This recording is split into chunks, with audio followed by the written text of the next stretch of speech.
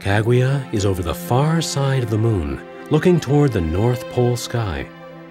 The Earth is in a penumbra eclipse. A penumbra eclipse happens when the Earth comes between the Sun and the Moon, with the three celestial bodies almost perfectly aligned.